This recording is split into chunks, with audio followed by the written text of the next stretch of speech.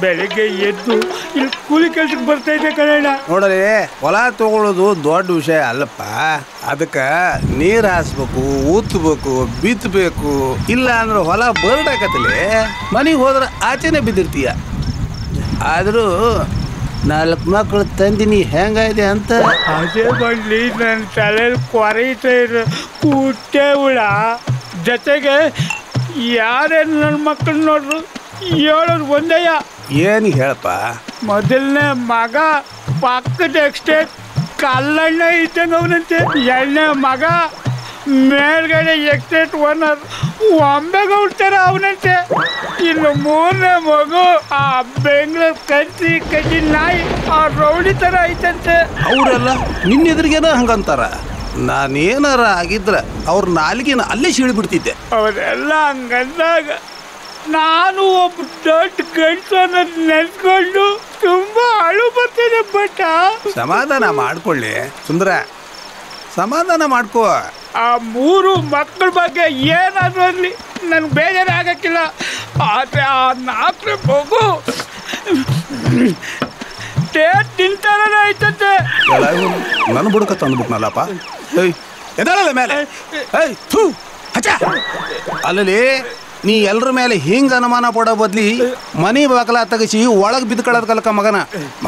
ನಡಿಲಿ. But ಆಚೆಗೆ. ಇವತ್ತು ನಾನು ಹೋಗೇ ಹೋಯ್ತೀನಿ. ಬಾಕಲ್ ತೆಗ್ಸೇ ತೆಗಿತೀನಿ.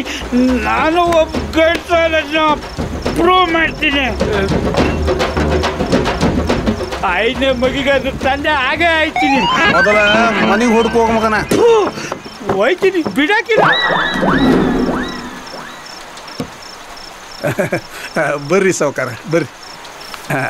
ಗ್ಲಾಸು ರೆಡಿನ ಎಲ್ಲಿ ಬಟ್ಟಣ ನಿಮ್ಮ ರೆಗ್ಯುಲರ್ ಪಾರ್ಟ್ನರ್ ಸುಂದ್ರ? ಅವನು ಫುಲ್ ಟೈಟ್ ಆಗಿ ಮನಿ ಹುಡ್ಕೊಂಡು ರೀ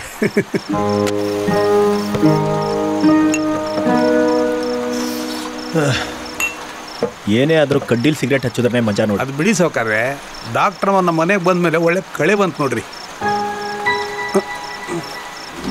ಬಟ್ಟಣ ಏನೇ ಆದರೂ ಡಾಕ್ಟ್ರುಗಳು ತಮ್ಮ ಕೆಲಸನ ಡ್ಯೂಟಿ ಅವರ್ಸಲ್ಲಿ ಮಾತ್ರ ಮಾಡಬೇಕು. ಅದು ಬಿಟ್ಬಿಟ್ಟು ಅದು ಕಡಿಮೆ ಹಾಕಿ, ಇದು ಕಡಿಮೆ ಹಾಕಿ ಬಿಸಿ ನೀರು ಕುಡೀರಿ ಅಂತೆಲ್ಲ ಹೇಳಬಾರ್ದು. ನೋಡೋಕೆ ಚೆನ್ನಾಗಿದ್ದಾಳೆ. ನನಗಿಷ್ಟ ಆಗಿದ್ದಾಳೆ ಅಂತ ಸುಮ್ಮನೆ ಇದ್ದೀನಿ. ಇಲ್ಲ ಅಂದಿದ್ರೆ ಹಾಸ್ಪಿಟ್ಲೇ ಇಲ್ಲ ಅಂತ ಹೇಳಿ ಹಂಗೆ ನನಗೆ ಕಳಿಸ್ಬಿಡ್ತಾ ಇದ್ದೆ. ಫಸ್ಟ್ ಸೈಟಲ್ಲೇ ನನಗಿಷ್ಟ ಆಗ್ಬಿಟ್ಲು ಬಟ್ಟಣ ಏನೇ ಆದರೂ ಸುಂದರವಾದ ಹೆಣ್ಮಕ್ಳು ಬೇಗ ಇಷ್ಟ ಆಗ್ಬಿಡ್ತಾರೆ. ನೋಡಿ ಇವಾಗ. ಬಂದ್ಬಿಟ್ಟು ಅದು ಮಾಡಬೇಡಿ ಇದು ಮಾಡಬೇಡಿ ಅಂತ ಹೆಂಡತಿ ಥರ ಹೇಳ್ತಾಳೆ. ಸೌಕರ್ಯ. ಜರ ನೋಡ್ರಿ ಅತ್ತಾಗ. ಓ ಬಂದ್ರಾ? ಬನ್ನಿ.